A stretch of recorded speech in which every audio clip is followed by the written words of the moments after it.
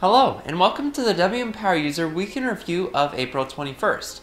This week, it was revealed that there's more than 1.5 million people running Windows Phone 8.1, which makes up 3.1% of the Windows Phone user base. And the Lumia 520, which has been growing really rapidly, has actually stagnated now at a whopping 34% of all Windows phones. The Xbox Music app was updated and it has a few improvements like it should have resolved all those black screen issues and you can say playlist names through Cortana to play them, but it still has a lot of other problems. And Internet Explorer 11 on Windows Phone 8.1 has some big performance improvements which can be seen through running some of those online tests, and it's a lot better than Windows Phone 8 and IE 10.